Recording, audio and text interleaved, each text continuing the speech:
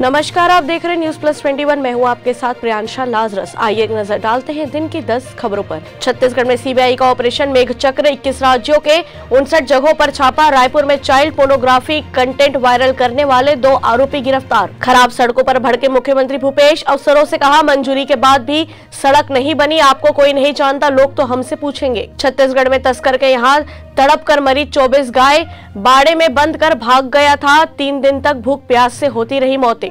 नवरात्रि के लिए सजा माँ दंतेश्वरी का दरबार।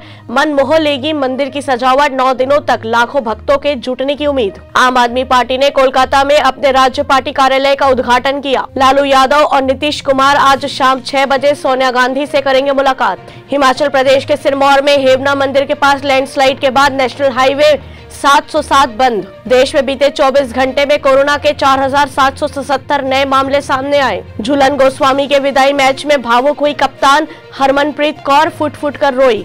हॉलीवुड में छाने को तैयार आलिया भट्ट डेब्यू का ट्रेलर आया सामने। ऐसी तमाम जानकारियों से लगातार अपडेट रहने के लिए देखते रहिए न्यूज़ प्लस ट्वेंटी आपके हक की बात।